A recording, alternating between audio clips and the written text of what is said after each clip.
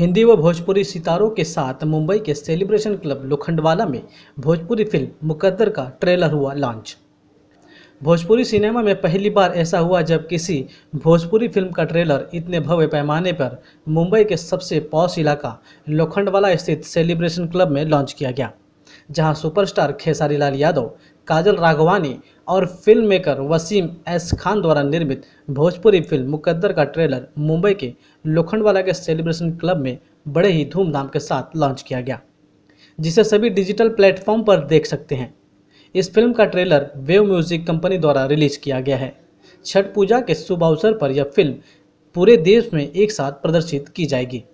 Film के trailer के launching jubilee star Dinesh Lal Yadav Nirahua के हाथों किया गया।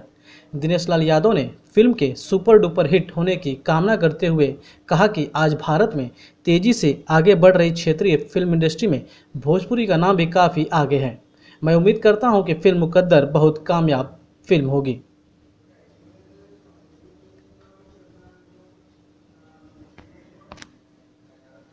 National 24 news, Mumbai.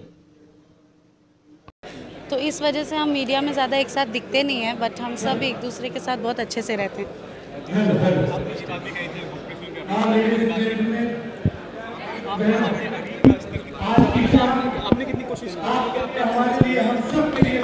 लगातार कोशिश कर रहे हैं और आगे भी कोशिश करते रहेंगे। अच्छा चल रहा है अच्छा हो रहा है। अभी बहुत अच्छा होने वाला है।